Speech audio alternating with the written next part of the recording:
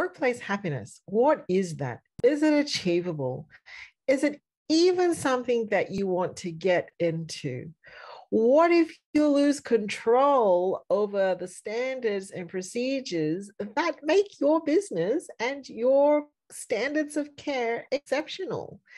In today's episode, I talked to Declan Edwards. He is the founder of the BU Happiness College.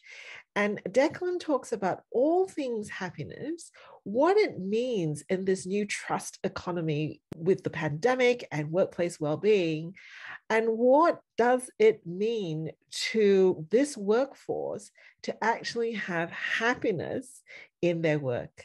I'm Valerie Ling. I'm excited to share this next 15 or 20 minutes or so with you, delving into workplace happiness with Declan Edwards. To speak with Declan Edwards today from the BU Happiness College.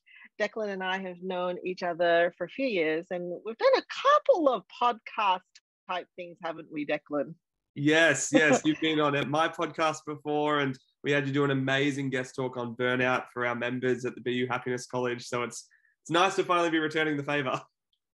Brilliant. So, Declan, why don't we start with that? Tell us a bit about you, Declan, the human being, and then tell us a little bit about BU.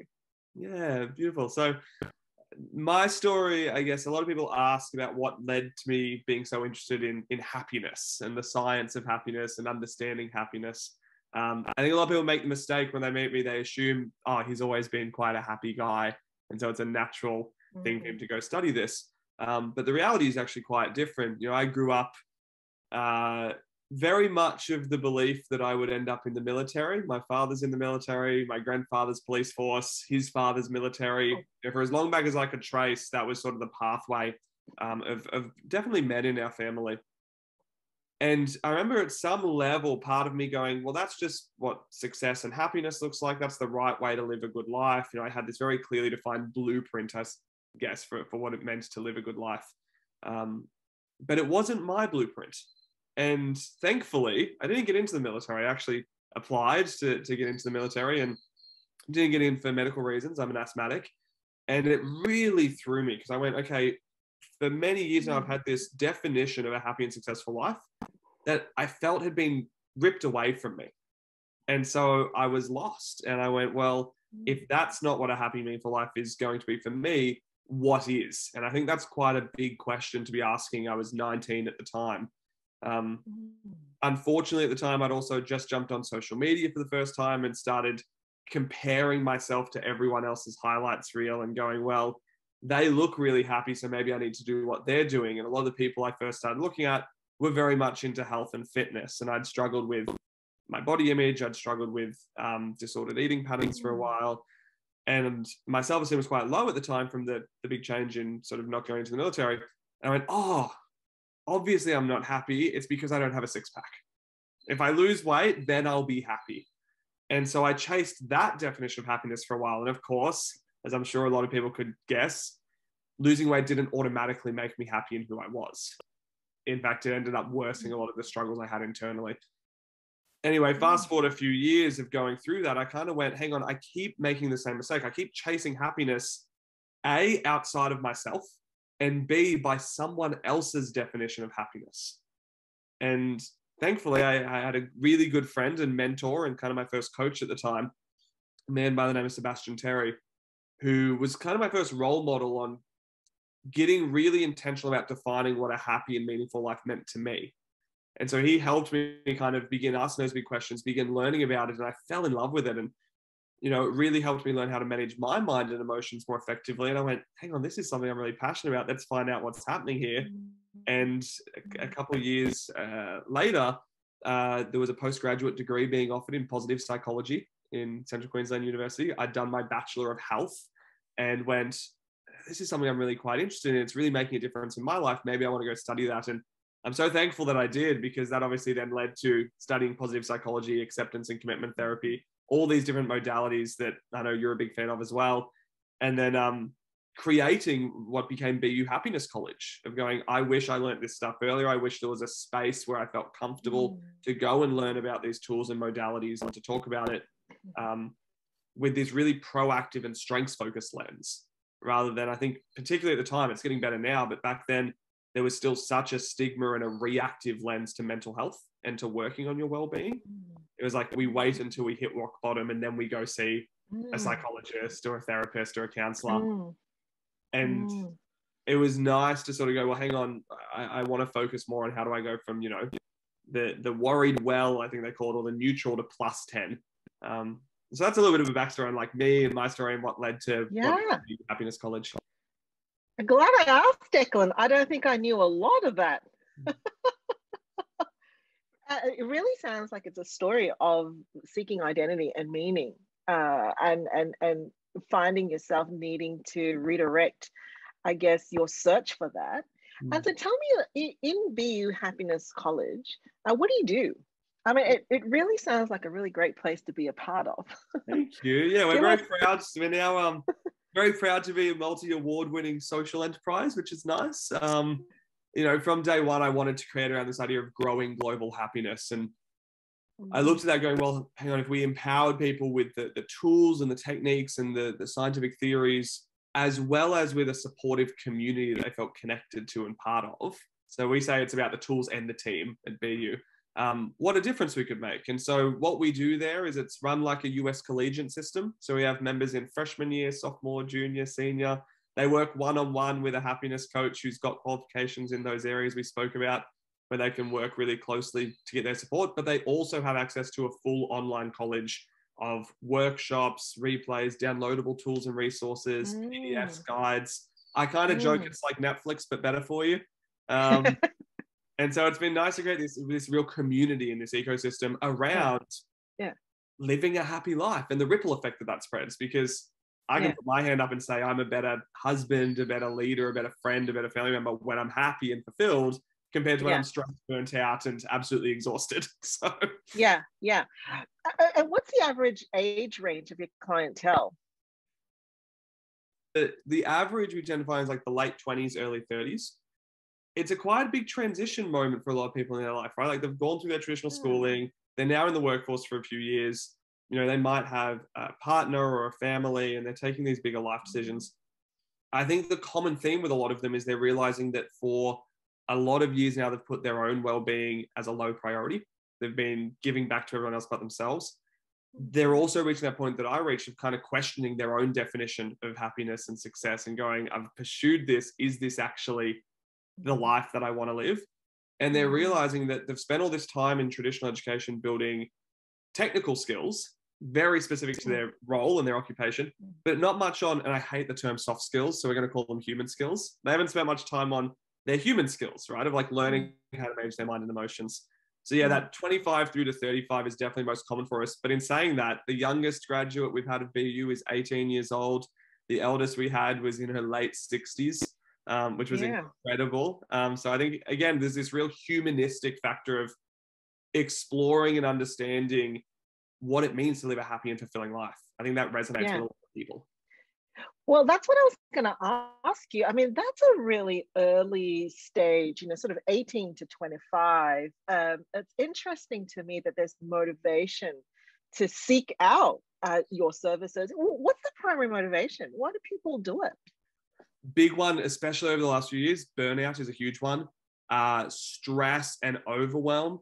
Um, and honestly, like lack of self esteem and a positive relationship with themselves, um, which I know I, we've been talking a lot with members lately about the idea of if you look at self confidence, self compassion, mm. self esteem, mm. self worth, they all start with the same word, which is self. And so, my big question to a lot of it, people when they enter our college is like, how well do you actually know you?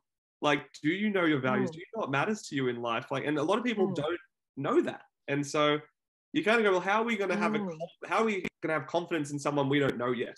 How are we going to be compassionate towards someone that we really don't understand? And so I think giving them the yeah. tools and the space to intentionally explore and create a sense of self um, has been really meaningful mm. for us over the years. Now, you and I are going to drill down so much more into this uh, as part of the Private Practice Leadership Accelerator group that I um, am running. But just for today, just for the broader community, I've been asked to talk heaps about this thing called quiet quitting, yes. uh, which is essentially about employees. And, and I think it's been attributed to a younger workforce, so your Gen Zs not so much your, your millennials, although I, I think they are part of this movement, if you like, mm-hmm. but an early career workforce who are basically saying we had it with the hustle culture. Uh, you know, we we give and give and give, and we do and do and do. We don't not getting the reward, not getting the recognition. So what's the point of sacrificing ourselves? So rather than resigning, we're just going to pull back. We're going to check out of this, um, you know, hustle and do more culture, and just do what we need to do and strive for work life balance. And it's been the trending topic for a while because you've got employers saying, well, that's not right. You know, these, these, this is like, it's, it's ripping us off.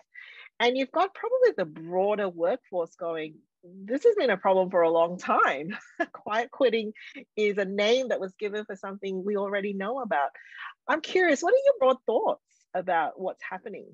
Yeah, and I've been asked kind of quite a bit too. We've in the last couple of years at BU opened up the workplace happiness consulting arm of the company. So we're working quite closely with a lot of organizations to measure and manage and understand their culture. So naturally, this is something coming up a lot. My thoughts around it, I've been explaining to a lot of workplace lately this idea of whenever we see big societal change, which is what we've been through in the last couple of years in particular, there is a period of an overcorrection, kind of like Newton's cradle, like the little desk toys with the five silver balls. You lift one up, let go, it ricochets. I think what we're in at the moment is the slight overcorrect. Now, what I mean by that is I think there's a lot of merit and value to some of the underlying principles of quiet quitting, if we if we use that term. So the value of the underlying principles, boundaries, self-prioritization and being able to look after yourself and not give all of yourself to your work and being more intentional around what work life integration looks like. Again, I hesitate to use the term work life balance. However, I think the part that doesn't resonate with me and where I can see a lot of employers struggling with is this quiet part. And I would argue quiet quitting and quiet firing are both equally problematic issues, right? And yeah. both the the reason they're both so problematic is the quiet part. I think what we need to have more of is bold, vulnerable, brave conversations. Now, I understand that this is an mm. equal responsibility on on employees learning how to have those, how to have those conversations um, and set those boundaries in a clear way rather than sort of in a quiet way.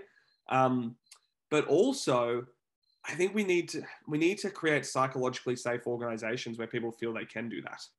Right? If someone feels they're going to be punished or victimized or vilified for speaking up and setting boundaries or for pushing back or for prioritizing their needs, the likelihood of them being able to have those clear boundary setting conversations is so low. So I do think there's a responsibility on employers and as organizations to go, are we creating a space where our staff feel psychologically safe to voice their mm. dissent and their dissatisfaction mm. um, and their needs? And if not, what can we do to shift that? Right? Because if we if we are creating a safe space, then yes, it's up to the employee to be able to capitalize that. So yeah, that would be my response. And I think we're in an overcorrect. We're going to come back hopefully to neutral. I don't think we mm-hmm. should go back to the way things were before the pandemic. I don't think that worked for anyone. The hustle and grind mm-hmm. work lifestyle, I hope, is something of the past. Um, but I also don't think that this mm-hmm. is the solution long term either. And final question, Declan. So, you yourself, business owner, student, husband, parent as well?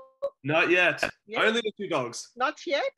Okay, well, dog, pet, parent, owner, employer. How do you maintain your own happiness? Yeah, so a big part for me, it's actually one of my favorite ones lately. I ask myself on a daily basis, what is one thing my heart needs from me today? Because I find myself very mm. often living from a to do list or from my head of like this is the logical the smart the strategic thing to do. These are all the things on my to-do list. I'm sure you know as a business owner that list is endless. It doesn't end right? Mm-hmm. and i can often get lost in that. And I think, like anyone else, especially when I run a social enterprise where it's so much about caring and giving and being there to support others, it's very easy for me to have my own needs slip to the back burner and go low on the priority list. So I've just found that very simple question of, hey, what is one thing my heart needs from me today? Actually spending the time listening to the answer and like tuning into myself, but then prioritizing it. And it looks different each day, right? So, for example, yesterday I had a terrible sleep the night before and I went, actually, you know what?